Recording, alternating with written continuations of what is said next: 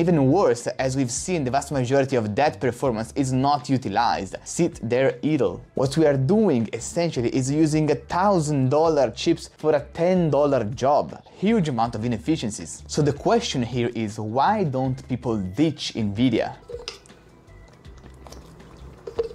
And why are 40% of NVIDIA's GPUs still used only for inference? Well, despite being very poorly optimized for inference, NVIDIA's GPUs are used because they do dominate the developer ecosystem. And even very inefficient inference is still much much easier to deploy on NVIDIA. And also the vast majority of engineers are all trained on NVIDIA's. And this is the first reason. The second reason is that once you buy all of these these GPUs for training, because you can use them for inference, well, you might as well just do it. So companies, once they use the GPUs for training, since they have them there, they start using them also for inference. They are already deployed, so they reuse them. So it seems like Nvidia kind of have a big grasp on inference as well. Jensen Huang also mentioned that inference is a big, big opportunity for Nvidia. And is that true? And given the fact that GPUs are so bad and inefficient for inference,